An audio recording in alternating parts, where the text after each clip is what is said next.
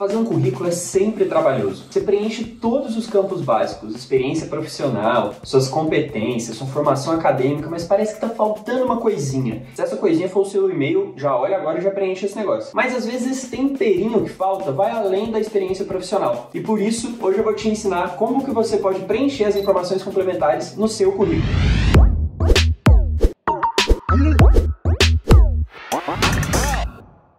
E aí pessoal, tudo bem? Eu sou o Pablo e hoje eu vou te mostrar como que você pode preencher as informações complementares no seu currículo. Mas ó, antes disso, clica aqui no gostei, se inscreve no nosso canal e ativa as notificações para você ficar por dentro de tudo que a gente está fazendo. Isso nos ajuda a fazer vídeos cada vez melhores e chegar em você cada vez mais. Combinado? Então vamos nessa. Eu vou te dar cinco dicas sobre o que você pode fazer com essa parte de informações complementares do currículo. A primeira delas é o tópico cursos. É importante que você liste tudo que você já fez, mesmo que pareça pouco, que seja pequeno, ou que eu tenha feito um curso de um dia só, eu fui só em um seminário, mas talvez esse tipo de coisa te ajude a dar uma informação para o recrutador que é, você está interessado naquele assunto, você aprendeu alguma coisa, mesmo que tenha sido em duas horas, e você pode mostrar isso, que você tem essas habilidades por meio desse setor, desse tópico tópico ali dentro do seu currículo. E isso pode ser desde cursos mais técnicos até cursos de habilidade comportamental, como por exemplo inteligência emocional, autoconhecimento e outras coisas assim que a Fundação Estudar inclusive oferece. E aí de curso técnico você pode pensar até em algo mais ferramental, como Photoshop, Excel,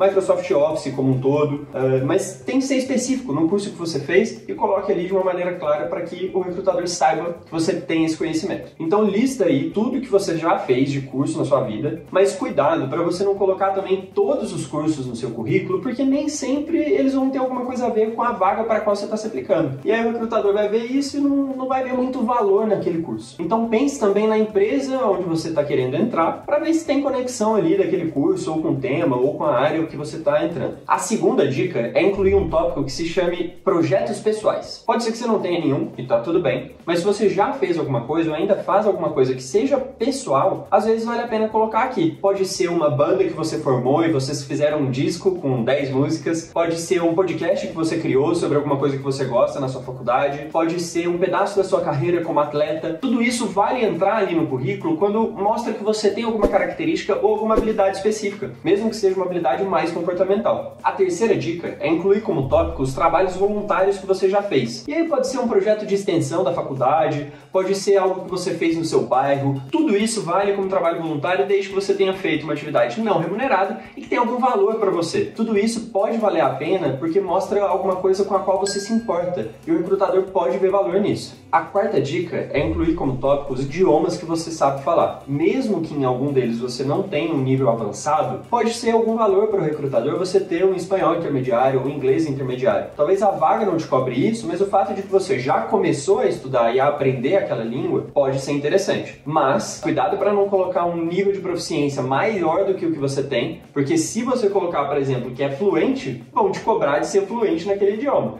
E aí se você ficar embolado ali na hora de uma conversação, isso pode te prejudicar no processo. Então seja verdadeiro, coloque ali o seu nível de proficiência porque ele pode ser relevante para o recrutador. E a última dica é que se você ainda é uma pessoa jovem ou que está começando a carreira, com pouca bagagem profissional, pouca bagagem acadêmica também, essas informações complementares podem servir para mostrar um pouco de quem você é e vender um pouquinho do seu peixe para que você consiga receber esse sim o quanto antes. Enfim, são tantas opções para deixar o seu currículo mais atraente para os recrutadores que não tem por que ele ser só aquela parte de profissional, de acadêmico, que é o básico do básico mesmo. Então preenche o seu currículo com essas informações complementares que as empresas apreciam e gostam das pessoas que estão constantemente buscando qualificação, buscando desenvolvimento. E aí, gostou do vídeo de hoje? Espero que eu tenha te ajudado a deixar o currículo mais recheado para você vender aí o seu peixe para os recrutadores. Compartilhe com outras pessoas que estão tentando entrar no mercado de trabalho ou tentando uma vaga específica e não deixe de comentar aqui embaixo o que você achou das nossas dicas, se você tem alguma experiência parecida ou um aprendizado que você pode compartilhar com a gente também.